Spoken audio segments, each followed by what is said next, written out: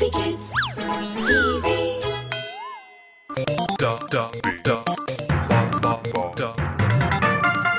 The Holy Tales.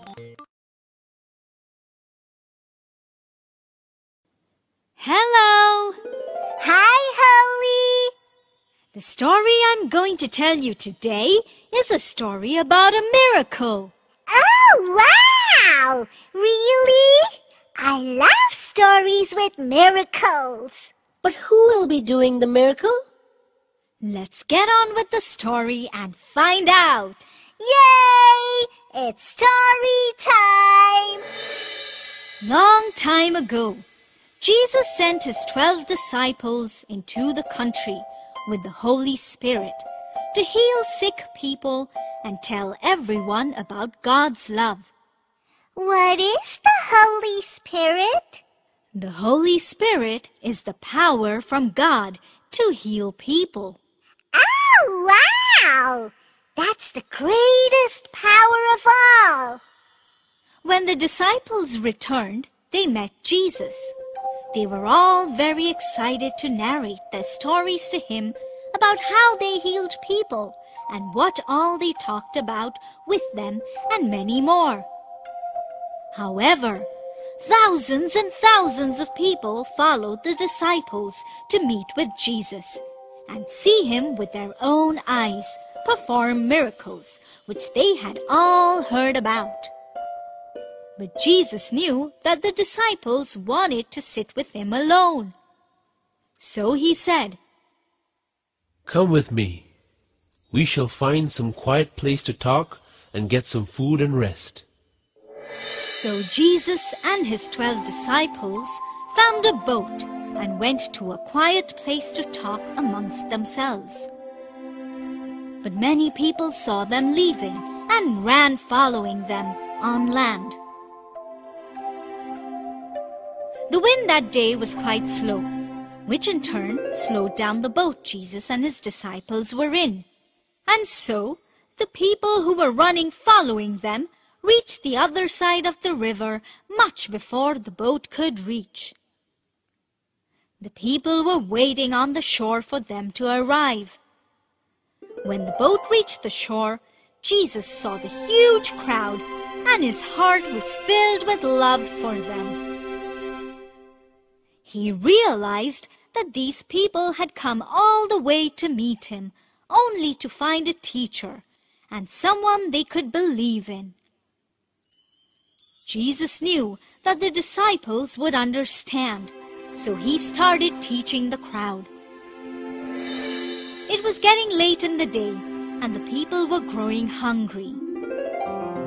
None of them had had food since morning. The disciples came to Jesus and said, These people are hungry. It's quite late. Let's send back these people so that they can get some food in the neighboring towns. But Jesus had other plans. He said, Do not send them away. You give them something to eat. The disciples were confused. They did not quite understand what Jesus was trying to say.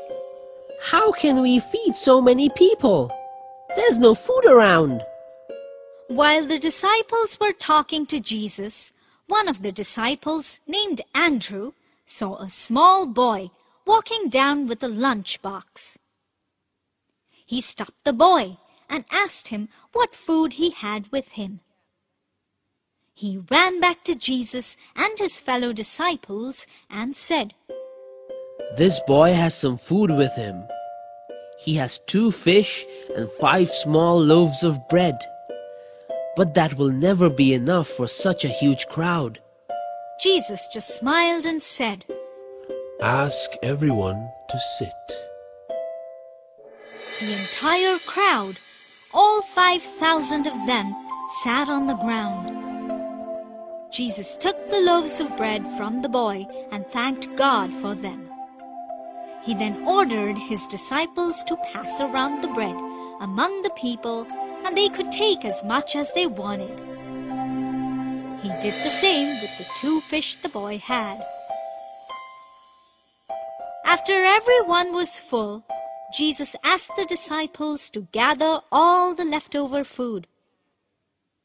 The disciples did what they were asked to do, and after gathering all the extra food, the disciples counted they had twelve baskets full of fish and loaves of bread. And that was a miracle. The people saw the miracle they wanted to see to believe in Jesus. Wow! That wasn't a miracle. That was magic. That was a wonderful story. Well, I am glad you kids loved it. I love this particular story too. Okay, Holy. We'll be back again to hear another story from you. So, be ready with one. Yes, Tubby, I am always ready with wonderful stories. See you soon, kids. Bye. to watch more videos, please subscribe. plants and trees. On the fourth day, God created the sun to shine in the day, the moon and stars to come out at night. One day, Moses went to Mount Horeb with his sheep. There, God appeared to him as a flame of fire in a bush.